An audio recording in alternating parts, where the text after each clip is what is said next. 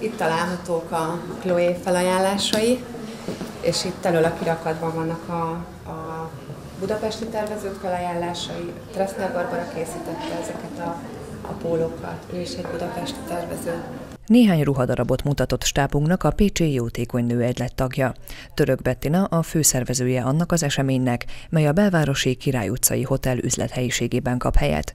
Október 8-án szombaton ugyanis jótékonysági gardrób vásár tart az egylet 10 és 18 óra között. A vásárra rengeteg-rengeteg adomány, több mint 1500 darab ruha gyűlt össze, mind személyes felajánlásokból, illetve nagyon sok tervező csatlakozott a programhoz a, az új, új ruháikat, kiegészítőiket, ékszeréket ajánlották föl nemes célra. Pécset még nem volt példa arra, hogy ennyi tervező, ennyi terméke egy helyen megvásárolható legyen, hangzott el a tájékoztatón.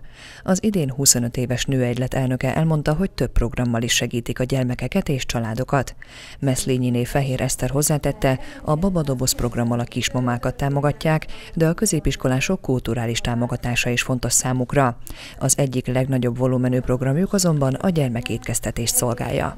Az egész bevétele a Nekem Nincsen Védem programra megy, mivel 120 kisgyermeket támogatunk, és ez azt jelenti, hogy egy hónapban a nőegyletnek egy millió forintot kell fizetnie az ebéd befizetésekre, és hát nagyon reméljük, hogy ezzel az összeggel, ami most bejön ebből a kardobvásárból, esetleg több kisgyereket is fel tudunk venni a programunkba.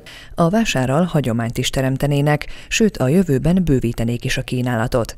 Mivel idén női ruhák és kiegészítők állnak rendelkezésre, a következőkben a férfiaknak is kedveznének, a tervek szerint pedig akár több napos rendezvény is lehet a kezdeményezésből.